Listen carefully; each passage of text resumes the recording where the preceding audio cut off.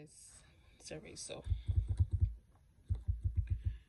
for like the first 20 minutes, you're gonna do you're gonna describe the relationship between the career your career path that you want and the in, and the earning income because some of these earning incomes of a career path are really most of, most people choose these career paths because of money and when they find out that money isn't all money.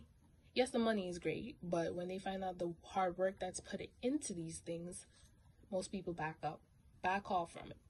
For biology except you have a bs in bio.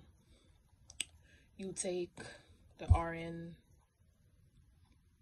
exams and RN makes at least 80 84 to 8 to 90,000 a year. That's their yearly income.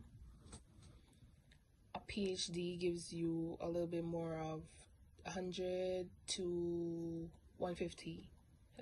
So that's the that's the kind of information that is needed for someone to look at when they're doing their career building. You have to look at every little small detail when you are thinking about your career. Then, to explain, you need to have different types of education and training. You have a bachelor's, the bachelor's, yeah, that's great, but most places require a master's and a PhD. Master's and PhD gets gets you a little more higher pay. So doing your basic research and information on that is very, very necessary when choosing these careers because you choose these careers without thinking or going on to going on to everything and then you just feel like the whole world is caving in on you. That's what happens when you choose these careers without thinking. Identifying activities and stuff that you are doing now as a junior high school student or a high school student that is helping you to build towards your career path. There are many things in in middle school and high school that you can engage into that will help you build your career path. Clubs, the math the math club,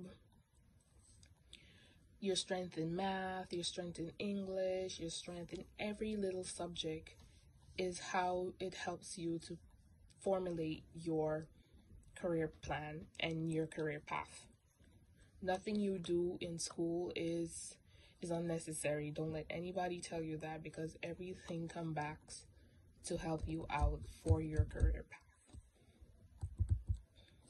Mapping out your personal strengths and interests. You have everybody has a strength and a weak, weakness, and these are things you have to do to enhance your knowledge on how your career path is going to go. Based on each of the qualities, you're going to choose your specific career career path and have just do your basic research on it. That's what I did. Because when I had to change my biology major, I was like, this is crazy. I have interesting. I did my internship this year. It's quite amazing. Some of the stuff that I learned thanks to my advisor and my supervisor at Kings County Hospital. It's been a wonderful journey. So that's something that you guys can do as well. Internships. At a young age, they do give kids internships. And after that, you're going to discuss and evaluate yourself. Is this for me? Is this career path something I want to choose? Is it something I want to do? Is it something I'm going to see myself six or seven years down from in the future. Is this for me? So when having a career lesson plan, career building um, mindset, you need to think about all those things. So I have a I have an aptitude survey that I'm to turn my camera around. It helps to give you all the information you need, everything you need to research on. And if you ever have, if you ever feel like you're stuck and want to come to me about it, hit we have our whole Instagram page. Ask me all the questions there. We can always talk about what what your career path is and what you want it to be. So yeah, that's my lesson for career career building. So thank you.